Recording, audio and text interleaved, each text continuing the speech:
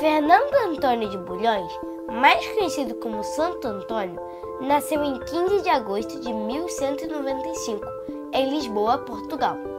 Filho de uma família nobre e muito rica, o menino desde pequeno já fazia orações pedindo proteção a Deus. Contrariando a vontade do pai, quando completou 15 anos, Fernando decidiu entrar para um convento da ordem agostiniana. No convento, estudou por dois anos até ser transferido para Coimbra, onde foi ordenado sacerdote. Lá, ao conhecer os freios franciscanos, se mudou para o mosteiro de São Francisco de Assis, onde se tornou frei, escolhendo o nome de Antônio. Quando foi a Marrocos anunciar o evangelho, Frei Antônio ficou muito doente e teve que voltar para Portugal.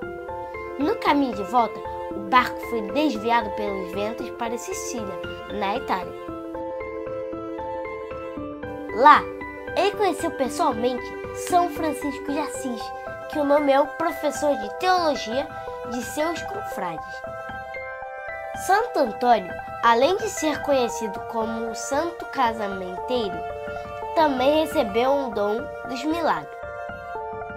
Durante suas pregações em praças e igrejas, muitos cegos, surdos e doentes ficaram curados. Muitos pecadores também se converteram pela pregação dele. Morreu no dia 13 de junho de 1231, com apenas 36 anos, na cidade de Pádua, na Itália. Aconteceram tantos milagres depois de sua morte que ele foi beatificado e canonizado 11 meses depois de morrer.